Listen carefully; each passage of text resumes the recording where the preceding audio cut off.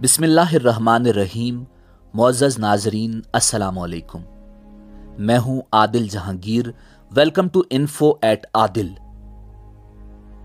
नाजरीन, खलीफा हारून रशीद अब्बासी खानदान के पाँचवें खलीफा थे। अब्बासियों ने तवील अरसे तक इस्लामी दुनिया पर हुकूमत की, मगर उनमें से शोहरत सिर्फ़ हारून रशीद को नसीब हुई। हारून रशीद के दौर में एक बार बहुत बड़ा कैद पड़ गया। इस कैद के असरात समरकंद से लेकर बगदाद तक और कूफा से लेकर मराकश तक ज़ाहिर होने लगे। बारिश न होने की वजह से लोग भूख से मरने लगे। हारून ने इस कैद से निमटने के लिए तमाम तदबीरें आजमा ली। गले के गोदाम खोल दिए, टैक्स मुआफ कर दिए, पूरी सल्तनत में सरकारी लंगर खाने कायम कर दिए और तमाम उमरा और ताजरों को मुतासरीन की मदद के लिए सरगर्म कर दिया, मगर इसके बावजूद अवाम के हालात ठीक न हुए। नाजरीन, एक रात हारून रशीद इस कदर शदीद परेशानी की हालत में थे कि उन्हें नींद तक नहीं आ रही थी। शदीद इजतराब के इस आलम में हारून ने अपने वज़ीर आज़म यहिया इबन खालिद को तलब किया। यहिया इबन खालिद हारून रशीद के उस्ताद भी थे। और उन्होंने ही बचपन से बादशाह की तरबियत की थी। हारून रशीद ने यहिया इब्न खालिद से कहा कि आप मुझे कोई ऐसी कहानी, कोई ऐसी दास्तान सुनाएँ जिसे सुनकर मुझे करार आ जाए।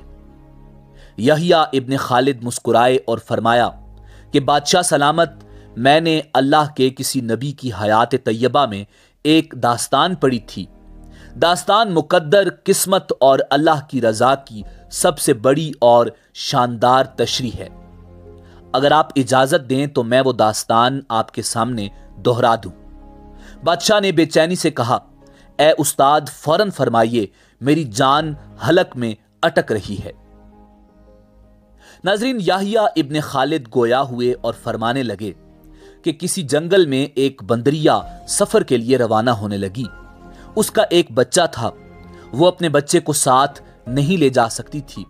चुनाचे वो शेर के पास गई और उससे अर्ज़ किया कि, जनाब, आप जंगल के बादशाह हैं। मैं सफ़र पर रवाना होने लगी हूँ। मेरी ख्वाहिश है कि आप मेरे बच्चे की हिफाजत अपने जिम्मे ले लें। शेर ने हामी भर ली। बंदरिया ने अपना बच्चा शेर के हवाले कर दिया और शेर ने बच्चा अपने कंधे पर बिठा लिया। बंदरिया सफ़र पर रवाना हो गई। अब शेर रोज़ाना बंदर के बच्चे को कंधे पर बिठाता और जंगल में अपने रोज़मर्रा के काम करता। एक दिन वो जंगल में घूम रहा था कि अचानक आसमान से एक चील झपट कर शेर के करीब पहुँची। बंदरिया का बच्चा उठाया और आसमान में गुम हो गई। शेर जंगल में भागा दौड़ा, मगर वो चील को न पकड़ सका। नाजरीन, यहिया इब्ने खालिद रुके और सांस ली और खलीफा हारून रशीद से अर्ज़ किया कि बादशाह सलामत चंद दिन बाद बंदरिया वापस आई और शेर से अपने बच्चे का मुतालबा कर दिया। शेर ने शर्मिंदगी से जवाब दिया कि तुम्हारा बच्चा तो चील ले गई है। बंदरिया को गुस्सा आ गया और उसने चिल्लाकर कहा, तुम कैसे बादशाह हो? तुम एक अमानत की हिफाजत नहीं कर सके। तुम इस सारे जंगल का निज़ाम कैसे चलाओगे? शेर ने अफसोस से सर हिलाया और बोला कि मैं जंगल का बादशाह ज़मीन पर हूँ। अगर ज़मीन से कोई आफत तुम्हारे बच्चे की तरफ़ बढ़ती तो मैं उसे रोक लेता। मगर यह आफत आसमान से उतरी थी और आसमान की आफतें सिर्फ़ और सिर्फ़ आसमान वाला ही रोक सकता है। नाजरीन, ये कहानी सुनाने के बाद याहिया इब्ने खालिद ने हारून रशीद से अर्ज़ किया कि बादशाह सलामत, कैद की आफत भी अगर ज़मीन से निकली होती तो आप इसे रोक लेते। ये आसमान का अजाब है। इसे सिर्फ़ अल्लाह रब्बुल इज़्ज़त रोक सकता है। आप इसे रुकवाने के लिए बादशाह न बने, बल्कि फकीर बन जाएँ। ये आफत रुक जाएगी। नाजरीन, दुनिया में आफतें दो किस्म की होती हैं। आसमानी मुसीबतें और जमीनी आफतें। आसमानी आफत से बचने के लिए अल्लाह रब्बुल इज़्ज़त का राज़ी होना ज़रूरी है।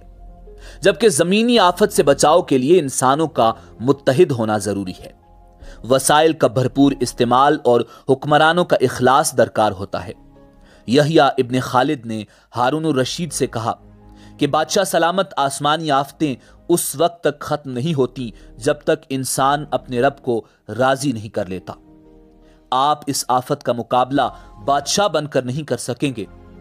चुनाचे आप फकीर बन जाइए। अल्लाह रब्बुल इज़्ज़त के हुजूर गिर जाइए। उससे तोबा कीजिए। उससे मदद मांगिए। नाजरीन, दुनिया के तमाम मसाइल और उनके हल के दरमियान सिर्फ़ इतना फासला होता है जितना माथे और जाय नमाज़ में होता है। मगर अफसोस, हम अपने मसाइल के हल के लिए सात समंदर पार तो जा सकते हैं, मगर माथे और जाय नमाज़ के दरमियान मौजूद चंद इंच का फासला तय नहीं कर पाते। नाजरीन, इसी उम्मीद के साथ इजाज़त दीजिए कि आपको हमारी वीडियो पसंद आई होगी। मिलते हैं अगली वीडियो में। अल्लाह रब्बुल इज़्ज़त आपका हामी नासिर हो।